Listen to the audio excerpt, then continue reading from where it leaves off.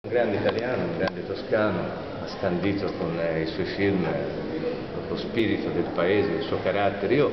ho fatto anche riferimento nel mio intervento ad un'idea di modello sociale,